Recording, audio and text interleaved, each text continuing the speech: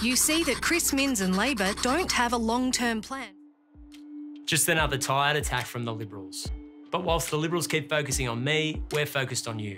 That's why our Fresh Start plan tackles what actually matters improving our healthcare system, investing in teachers, schools, and apprenticeships so we can create a stronger economy and a better future for New South Wales.